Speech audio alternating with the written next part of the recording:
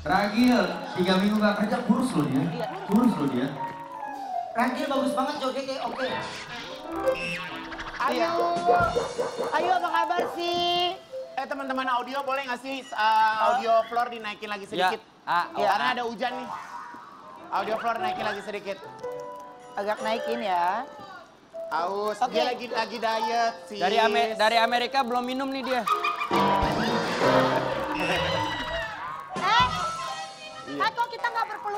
Pelukan dong, ya Allah.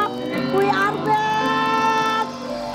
Gimana sih Amerika ceritain dong. Gimana coba ceritain yuk? Kan kita pada belum pernah. Gua- Boleh cerita dulu nggak baru judul? Berisik lu.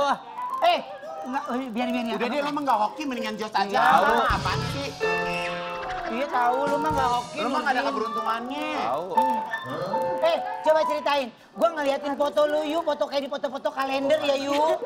Panas ya Oma gerak Ih, sombong banget sih. Agak Enggak, gerak. enggak sebenarnya Kemarin kalau di Indonesia, Indonesia kan sebenarnya lagi nggak gerak-gerak banget. Iya. Tapi kok tanggal-tanggal segini emang periode udah mulai habis yuk. Baru Eh, pertengahan. Sumpah, lu Ah. semua pokoknya harus sampai. Lu kan juga mau ke New York kan Oma? Aku lu. Dia juga mau ke New York. Pokoknya lu semua harus ke New York. Lu semua harus ke LA. Lu harus, eh. Iya. Lu. Ya, Enggak, ke ke New York rasanya gimana pas nyampe itu gimana? minimal sebelum ke ke New York, gue mau ngajakin keluarga gue uh, latihan dulu Ke mana? ke Priok. Latihan Priok. Ya. Iya. Enggak, Gimana? gimana Deg-deg pertama dulu. kali landing gimana rasanya? Pertama kali kan gue pikir ya namanya gue kan udah sering ya kayak ke Rusia gitu-gitu kan udah- Biasa. udah biasa. Eropa. Ya, ah, badai salju gitu Iya. biasa. Tiba-tiba gue sampai New York pas keluar, gila angin sampai nusuk ke dalam tulang dingin banget. Dingin banget. Gue pakai baju lima lapis. Kan gue pakai sepatu boots. Sampai sepatu boots gue nggak muat gara-gara ketebelan celana. Emang lagi musim apa sih di Dingin salju ya? Eh bukan dong. Enggak, kalau di Amerika tuh memang cenderung lebih dingin daripada kalau winter Dingin tuh dingin banget. banget. Bisa sampai minus 17, Wen. Aduh. Lo keluarnya keluar-keluar hotel, Wen. Lo begini, lo udah nggak bisa jalan. Itu salju. Itu salju. Terus gua ngapain jauh-jauh ke New York kalau begini doang? ya, aku nonton konser BTS.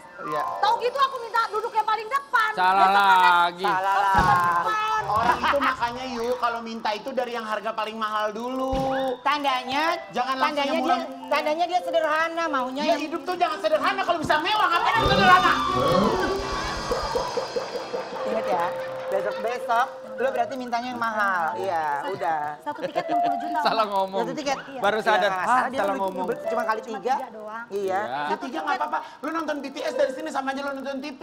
Jauh banget. Di enggak dia muter kelihatan, muter dia. Mana si BTS-nya dadain lo nggak?